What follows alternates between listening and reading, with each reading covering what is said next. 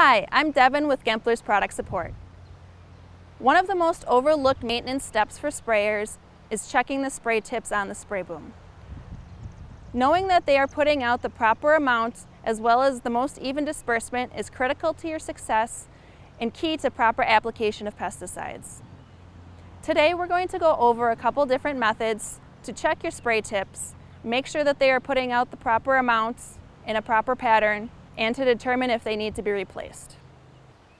Before starting, be sure to put on the proper protective equipment for any chemicals that have been used in the sprayer.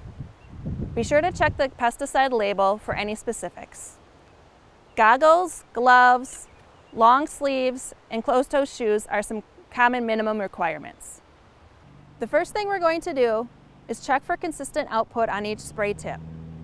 In order to do this, we need to make sure the sprayer is clean and then to fill it approximately half full with water.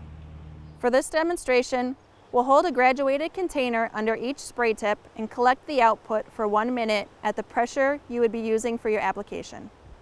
Check the sprayer manual and chemical label for recommendations. Once we've collected the output from each spray tip, we'll need to make sure that the flow rates are approximately the same. Any tips that differ by more than 5% from the average need to be cleaned or replaced.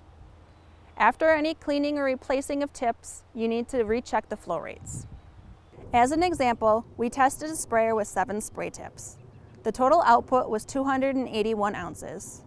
We then divide this by our seven spray tips to get 40.1 ounces, the average output per spray tip. To figure out our acceptable output range of 5% from the average, we take the average output of the spray tips, 40.1 ounces, and multiply that by 0.05. The result is 2 ounces. Any spray tip whose output differs from 40.1 ounces by more than 2 ounces should be cleaned or replaced.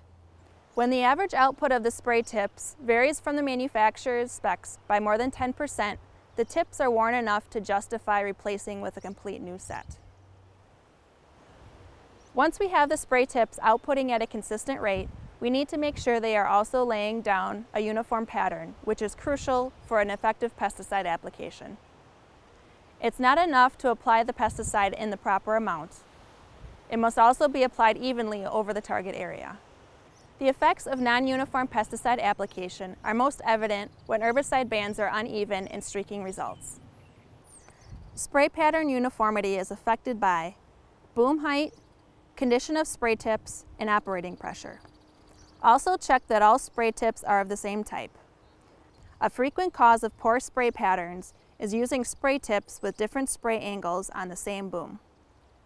To check the pattern uniformity, adjust the boom height for the spray tip angle and spray tip spacing as suggested in the instruction manual. Using water, run the sprayer at the desired speed and pressure on a clean dry surface so that you can observe the spray pattern as the water evaporates. Clean or replace any spray tips that produce a poor spray pattern. Readjust the boom height if necessary and recheck the spray pattern. If any tips need to be replaced or cleaned, recheck the flow rates. For help testing existing spray tips or choosing the right spray tip replacements, contact Gempler's Product Support. We've got professional grade tools, expert advice, and solutions for you and your crew. Thank you for watching. Let us know what you thought of this video or if you have suggestions for future video topics.